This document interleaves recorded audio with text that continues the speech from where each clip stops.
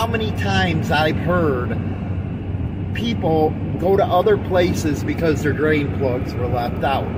There's no control, no supervision over these kids. And it's a shame. And Grease Monkey, Jiffy Lube, that is the type of place where if you want your your car destroyed, you're going to get it destroyed eventually because they have this rule that you got to get a car out in 15, 20 minutes, hell, even 10 minutes. You got those 10 minute quick uh, oil lube places, and that's dangerous as hell.